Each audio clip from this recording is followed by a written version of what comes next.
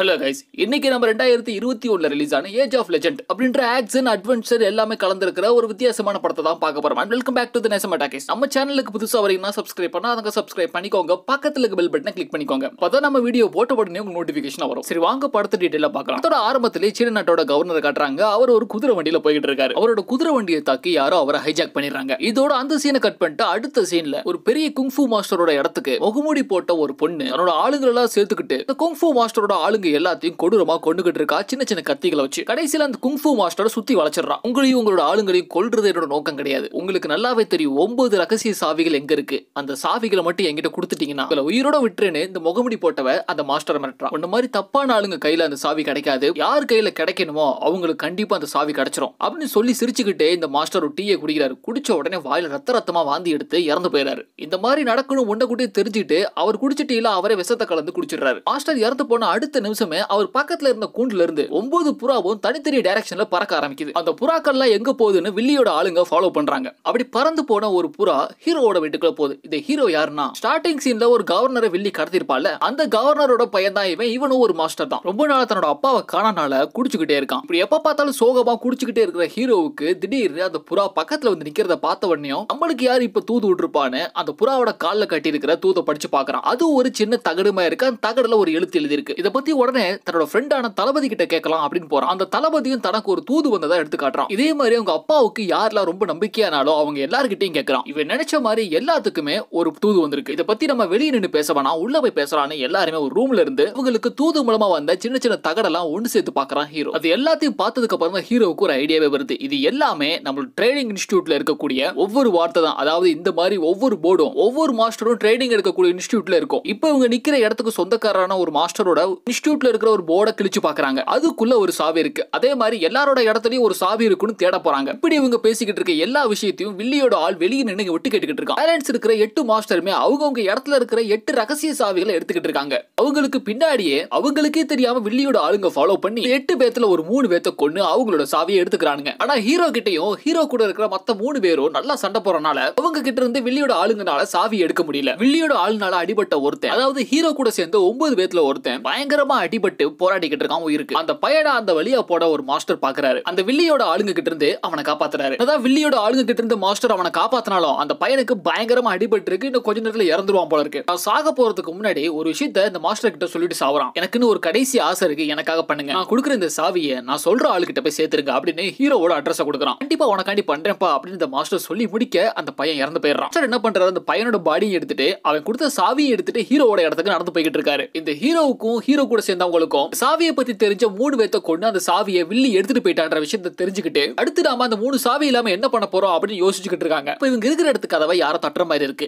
ஹீரோவும் பயந்துகிட்டு வில்லியா தான் இருப்பாளோ? அப்படின்னு ரொம்ப கேர்ஃபுல்லா கதவை திறந்து பாக்குறான். பார்த்தா அந்த மாஸ்டர் தான் அந்த பையனோட பாடியோட நிக்கிறாரு. கிட்ட எது சொல்றா இருந்தாலும் உள்ள வந்து பேசுறேன். ஏன்னா நான் ரொம்ப தூரத்துல இருந்து வர ரொம்ப டயர்டா இருக்கேன். அப்படின்னு இறந்து போன அந்த பையனோட பாடியை ஹீரோ கிட்ட ஒப்படைக்கிறாரு. இந்த பையனை நான் எவ்வளவோ காப்பாத்தலாம் ட்ரை பண்ணி ஆனா கடைசியில் காப்பாத்த முடியாம போயிருச்சு. இந்த பையன் சாகுறப்ப என்கிட்ட இந்த சாவியை கொடுத்துட்டு செத்துட்டான். உங்ககிட்ட கண்டிப்பா இதை கொடுத்தே ஆகணும்னு சொன்னான். அதனாலதான் இந்த பையனோட பாடியையும் இந்த சாவியை எடுத்துட்டு நான் இவ்வளவு தூரம் வந்திருக்கேன். அப்படின்னு ஹீரோ கிட்ட சாவியை கொடுத்துறாரு கிட்ட எப்படியோ இந்த சாவியை நான் சேர்த்துட்டேன். ஏன் வேலை முடிஞ்சு இங்க இருந்து நான் கிளம்புறேன். அப்படின்னு இந்த மாஸ்டர் கிளம்ப பாக்குறாரு அப்ப ஹீரோ அவரை போக விடாம கேள்விக்கு மேல கேள்வியா கேட்கிறான் நான் இந்த ஏரியால பார்த்ததே இல்லையே. நீங்க யாரு? வில்லியோட ஆளுங்க இருந்த இடத்துல உங்களுக்கு என்ன வேலை? அப்படின்னு இந்த ஹீரோ கேள்விக்கு மேல கேள்வியா கேட்க அதுக்கப்புறம் ஹீரோவோட ஃப்ரெண்டு மாஸ்டரே நல்லா பாக்குறான் அதுக்கப்புறம் தான் அவனுக்கு யாருன்னே தெரியுது. நீ நினைக்கிற மாதிரி இவர் ஒன்றும் சாதாரண ஆள் கிடையாது. நம்மளுக்குலாம் எந்த அளவுக்கு சண்டை தெரியுமோ அதோட இவருக்கு பயங்கரமா தெரியும். இவர் மிகப்பெரிய மாஸ்டர் அப்படின்னு ஹீரோவோட ஃப்ரெண்டு இங்க நடக்கிற எல்லா விஷயத்தையும் அந்த மாஸ்டர் கிட்ட சொல்றான். உங்களை மாதிரி திறமசாலியான மாஸ்டரோட சப்போர்ட் எங்களுக்கு கண்டிப்பா தேவை. நீங்களும் அந்த வில்லி கிட்ட இருந்து நம்ம நாட்டை காப்பாத்துறதுக்காக எங்களுக்காக போராடுங்க. அப்படின்னு எல்லாருமே சேர்ந்து இந்த மாஸ்டர் கிட்ட கேட்க அதுக்கு அந்த மாஸ்டர் முடியாதுன்னு சொல்லிடுறாரு. ஏன்னா நீங்க எல்லாருமே வில்லியோட ஆளுங்க எல்லாத்தையும் கொல்ல போறதா சொல்றீங்க.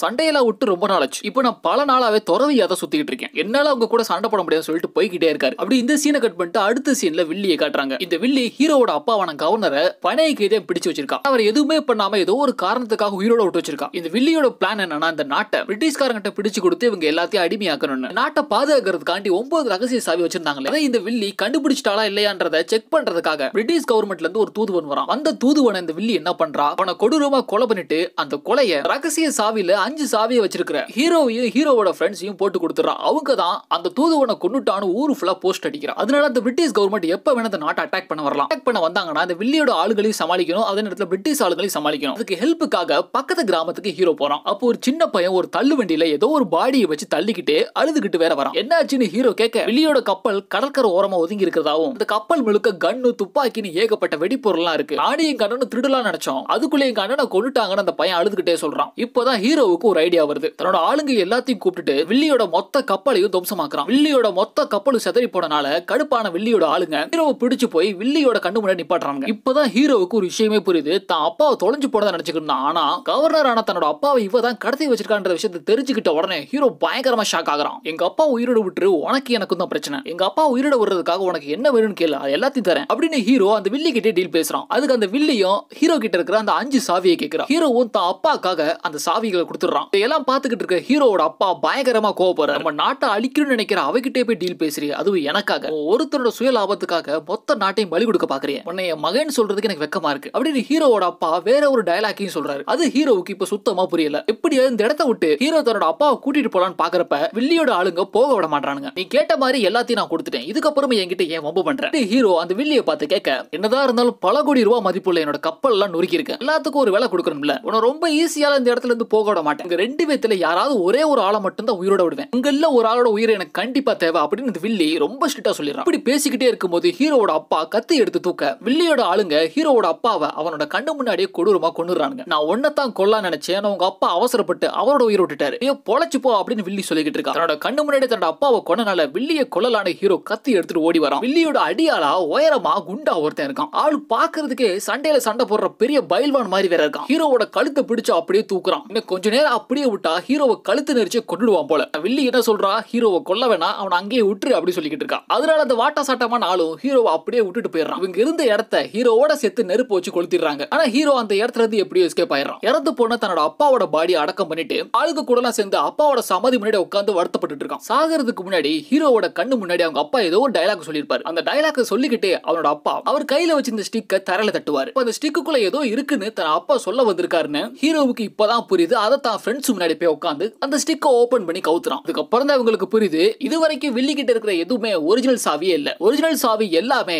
ஹீரோவோட அப்பா. தன்னோட கைபிடியில யாருக்குமே தெரியாம மறைச்சு வச்சிருக்காரு. அதை இப்ப ஹீரோ கண்டுபிடிச்சிட்டான். இந்த சாவி மூலமா தான் இவங்க நாட்டோட ரகசியத்தை இப்போ கண்டுபிடிக்க போறாங்க. ஒரு பக்கம் ஹீரோட நாட்டை அட்டாக் பண்றதுக்காக பிரிட்டிஷ் படை கடல் வழியா வந்துகிட்டு இருக்காங்க. இன்னொரு பக்கம் வில்லியோட ஆளுங்க எல்லாருமே ஹீரோட ஆளுங்களை அட்டாக் பண்ணிக்கிட்டு இருக்காங்க. படைகளை எப்படி சமாளிக்க போறோம்னு ஹீரோட ஆளுங்க எல்லாம் முழிச்சுக்கிட்டு இருக்காங்க. ஹீரோட அப்பா கொடுத்த அந்த சாவியெல்லாம் யூஸ் பண்ணி இவங்க ஒரு ரகசிய அறைக்கு போறாங்க. இவங்க அப்பாவோட ஸ்டிக்ல இருந்து எடுத்து எல்லா சாவியும் ஒன்னா சேர்க்கிறாங்க. அந்த சாவிகை எல்லாத்தையும் தனித்தனியா பிரிச்சு இவங்க போய்கிட்டு இருக்கிற ஒவ்வொரு ரகசிய அறையோட என்ட்ரன்ஸ்லயும் போடுறாங்க. ஒவ்வொரு கதவா திறக்குது. இப்பதான் ஹீரோவுக்கு இந்த சாவிகள்லாம் எதுக்குன்றதே புரியுது. ஒன்பது விதமான ராட்சச பீரங்கிகள் இருக்கு. ராட்சச பீரங்கிகளை இயக்கணும்னா பீரங்கிக எல்லாத்தையும் கொஞ்சம் முன்னாடி தள்ளணும். ஆனா இவ்வளவு பெரிய ராட்சச பீரங்களை இவங்கனால தனியா தள்ள முடியாது. ராட்சச பீரங்கிகளுக்கு பின்னாடி இருக்கிற ஒவ்வொரு எழுத்தையும் சரியா வைக்கணும். அதாவது கிட்டத்தட்ட பாஸ்வேர்டு மாதிரி தான் கரெக்டான பாஸ்வேர்டை போட்டா மட்டும் அந்த பீரங்கியை குண்டு போட்டு இவங்கனால வெடிக்க வைக்க முடியும். ஒரு பக்கம் கடல் வழியா பிரிட்டிஷ் படம் வந்துகிட்டே இருக்காங்க. இன்னொரு பக்கம் வில்லியோட படைகளை அட்டகாசம் பண்ணிக்கிட்டு இருக்காங்க. அப்ப ஹீரோவோட ஆளுங்களை என்ன பண்றாங்க? வில்லியோட ஆளுங்க கூட பயங்கரமா சண்டை போட்டுக்கிட்டு இருக்காங்க. வில்லியோட ஆளான ஒரு பயில்வான் இருக்கான் பாருங்க. அவனை ஹீரோவோட ஆளுங்க ரெண்டு பேர் சேர்த்து கொடூரமா கொள்றாங்க வில்லியோட ரைட் ஹேண்டா ஒரு பொண்ணு இருப்பா. அவளையும் கொண்டுடுறாங்க இப்படி வில்லியோட ஆளுங்க எல்லாத்தையும் ஹீரோவோட ஆளுங்க சமாளிச்சுக்கிட்டு இருக்காங்க. இந்த பிரிட்டிஷோட கப்பல் படையும் கொஞ்சம் கொஞ்சமா பக்கத்துல வந்துகிட்டே இருக்காங்க. ஹீரோ எப்படியாவது அந்த பாஸ்வேர்டை கண்டுபிடிச்சு ஆகணும். கண்டுபிடிச்சா மட்டும்தான் இவங்களால அந்த பீரங்கியை ஆப்ரேட் பண்ண முடியும். அப்படி ஆப்ரேட் பண்ணி இவங்களை தாக்க வர்ற அந்த பிரிட்டிஷ் படையை இவங்களால அழிக்க முடியும். ஹீரோ அப்படி கொஞ்சம் கொஞ்சமா மெதுவா அவங்க அப்பா சொன்னதை யோசிச்சு யோசிச்சு பாக்குறான். அவர் ஹீரோவுக்கு சொன்ன டயலாக்க மெதுவா அந்த பாஸ்வேர்டா அந்த இடத்துல போட்டு பாக்குறான். அந்த பாஸ்வேர்டு கரெக்டா ஒர்க் ஆகுது. இவங்களோட ராட்சச ஒவ்வொரு பீரங்கியும் கொஞ்சம் கொஞ்சமா முன்னாடி போகுது. அது ஒரு ஆங்கிள் செட் ஆன உடனே எல்லாருமே அதுல குண்டை போடுறாங்க. குண்டை போட்டு இவங்க நாட்டுக்கு பக்கத்துல வந்துகிட்டு இருக்க பிரிட்டிஷோட கப்பல்ல எய்ம் பண்றாங்க. பிரிட்டிஷோட கப்பல்கள் பத்து பதினொன்னுக்கு மேல இருக்கு. இவங்களோட ராட்சச குண்டுகள்லாம் அந்த கப்பல்ல பட்டு வெடிச்சு செதறுது. ஒட்டுமொத்த பிரிட்டிஷ் படையை அழிஞ்சு போகுது. ரெண்டே ரெண்டு பிரிட்டிஷ் கப்பல் மட்டும்தான் இருக்கு. அதையும் அட்டாக் பண்றாங்க. இதுக்கு மேல இந்த நாட்டு பக்கத்துல போனா ரொம்ப ஆபத்துன்னு அவங்க இந்த நாட்டு அட்டாக் பண்ற பிளான அப்படியே அபோர்ட் பண்ணிட்டு அந்த மொத்த பிரிட்டிஷ் படையும் திரும்பி போயிருது. அதுக்கப்புறம் ஹீரோவோட ஆளுங்க எல்லாருமே இந்த வெள்ளியை பிடிச்சு வச்சிருக்காங்க. வெள்ளியை கொள்றதுக்கு எல்லாருமே வெறித்தனமா இருக்காங்க. ஆனா ஹீரோ என்ன சொல்றான்? என் அப்பாவை என் கண்ணு முன்னாடி துடிக்க துடிக்க கொன்ன இவளை நான் தான் கொள்ளுவேன் ஹீரோ அந்த வில்லி கூட சண்டை போட தயாராகிறான். இந்த ஹீரோவும் வில்லியும் நேருக்கு நேரா மோதுறாங்க ஹீரோ கத்தியை ஓங்கிட்டு வெறித்தனமா வில்லியை கொள்றதுக்கு வேகமா ஓடுறான். வில்லியோட கதையை அங்கேயே முடிக்கிறான். இதோட படத்தையும் முடிக்கிறாங்க. இந்த படம் எப்படி இருந்துச்சுன்னு மறக்காம கமெண்ட் செக்ஷன்ல சொல்லுங்க. இந்த வீடியோ பிடிச்சிருந்தா லைக் பண்ணுங்க ஷேர் பண்ணுங்க. நம்ம சேனலுக்கு புதுசா வரீங்கன்னா சப்ஸ்கிரைப் பண்ணாதவங்க சப்ஸ்கிரைப் பண்ணிக்கோங்க. இதே மாதிரி ஒரு சூப்பரான இன்ட்ரெஸ்டிங்கான ஒரு வீடியோல மறுபடியும் வந்து மீட் பண்றேன். Thank you one boy